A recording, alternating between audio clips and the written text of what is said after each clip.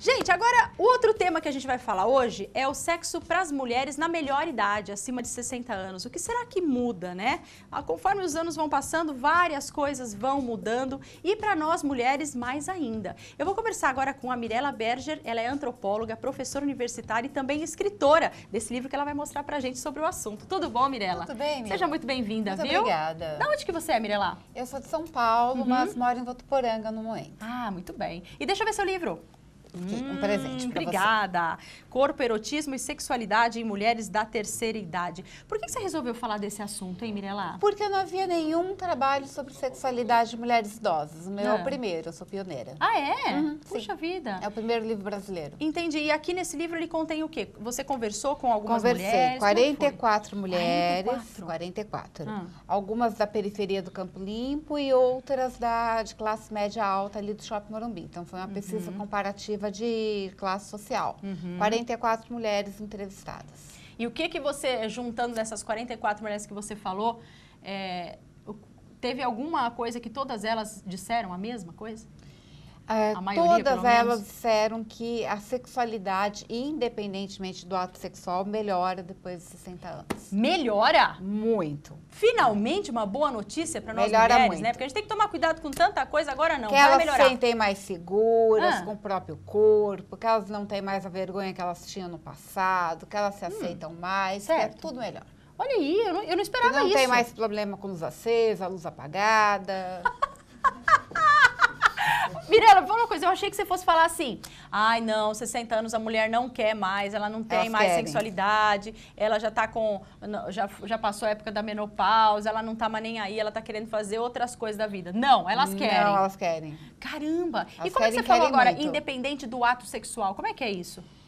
Porque nem todas têm mais o ato sexual propriamente ditas. Mas Uhum. eu tenho uma entrevistada, entrevistada, por exemplo, que espera o marido vestida de empregada doméstica, de sex shop, de salto alto, fazer jantar. Eu não sou ninguém.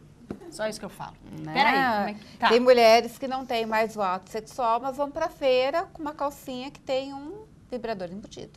O quê? Uhum, é, Pra feira? pra feira. Com... Lá? É, na feira, aham. Ou vão pro baile da Essa terceira feira- idade, entendeu?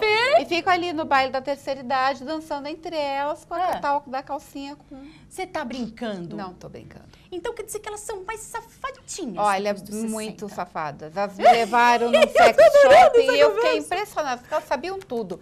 Ah, isso aqui é pra isso, isso aqui é pra aquilo, ah, isso aqui é... Porque já usou tudo, já Usou sabe que é tudo, bom, já sabe que é tudo. ruim. É. Ah, esse aqui não... Eu comprei esse aqui não, que não funciona.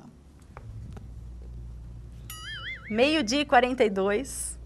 E a gente falando de safadeza. Ai, meu Deus. E, e outra coisa, quanto à parte hormonal, que eu já ouvi falar que tem muitas mulheres que têm a secura vaginal, que perdem libido, né, por conta da reposição, aquela coisa toda tal. Isso não interfere? Elas dizem que isso é coisa da cabeça da mulher. Tá. Que se a mulher estiver disposta, tem muitos produtos sex shopping que resolvem essa questão. Resolve tudo. Resolvem Ou seja, tudo. se quiser, tem. Resolve. Se quiser, tem. E 44 mulheres você conversou. Olha aqui, é um baita 44 livro, mulheres, gente. São 381 páginas. Caramba, e aqui tem o relato delas? Tem, tem, são 44 mulheres, como eu já disse, e tem o Aham. relato de todas. Tá, entendi.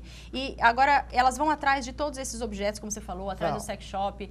É, e a parte emocional delas, depois eu queria até que a Patrícia desse uma palhinha para saber o que, que muda também né, na cabeça do- depois dos 60 anos. Porque você falou, elas estão mais seguras, elas estão mais é, é, firmes de si. Eu acho que isso deve ser a base, não só para sexualidade, mas para tudo na vida e nessa idade também. É, né? eu acho que elas se sentem mais confiantes porque já amadureceram Uhum. e já se sentem mais seguras de si, mais donas da própria vida. Uhum. Elas sentem que pela primeira vez elas não devem mais nada a ninguém, a Uhum. marido, a a nada.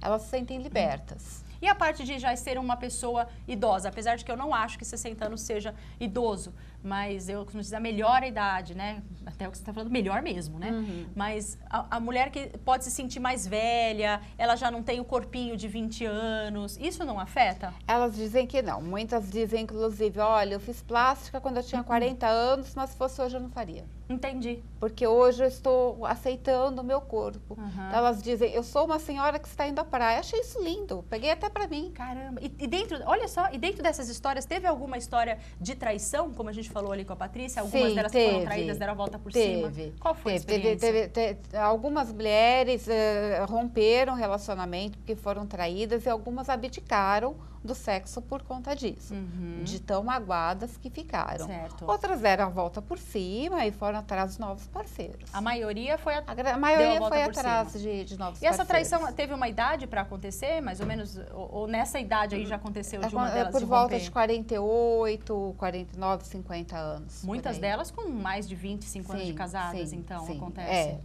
E alguma delas já traiu, Mirella? Falaram pra Ah, você? isso elas não contam. Não conta? Ah, Ah, não. conta que vai na feira com Isso, vibrador elas- e não conta que Não, traiu. tem uma, Ah, tá, uma que essa contou que tem um namorado, mas que quando ela vai para os bailinhos, ela tem uns flertes ali com Ah, os tá. monitores. Pra dar uma levantadinha na, na É, autoestima. né? Aí tem uns Hum. flertes, uns selinhos. Hum, selinho é traição? Hum, vamos ver daqui a pouco. Mirela, muito bom ver o seu livro. Parabéns por você ter sido a Obrigada. pioneira em toca- a tocar nesse assunto. E o mais legal é que a notícia foi boa. Brincadeiras à parte, eu acho que em qualquer idade a gente tem que ser assim, segura, feliz e querendo o melhor pra gente, não é verdade? Agora, com 60 anos, melhor ainda. Melhor né? ainda. Porque muitas delas já se aposentaram, já não estão mais com aquela... Não engravida mais, não Não, tem mais esse mesmo? medo. Olha que né? beleza, Então, né?